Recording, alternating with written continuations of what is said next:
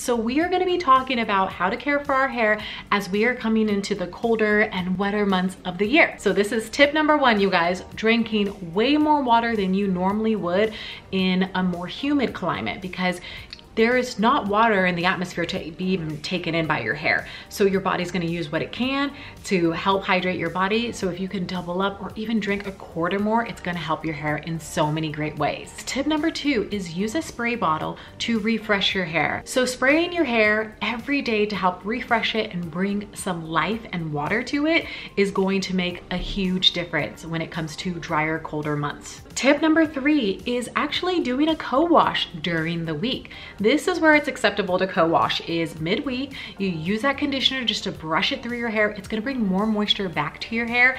And in fact, it's gonna be able to have your hair last throughout the week. And trust me, this works like a charm. So tip number four is using moisturizing products because without moisture, you're not gonna have curl defin definition. And without moisture, you're not going to be able to retain length and grow longer hair. My favorite product recommendation is of course the Swirly Curly Mango Moringa Moisture Max line. It is all about moisture and it does moisturize your hair fantastically. All right, you guys, tip number five, skip excessive oils. Now, a lot of people think that hydration comes from oils when in fact, it actually comes from water. If you wanna add another product to your hair is add your styling cream for the Moisture Max line. All right, you guys, and my last and final tip, and this one is a really important tip.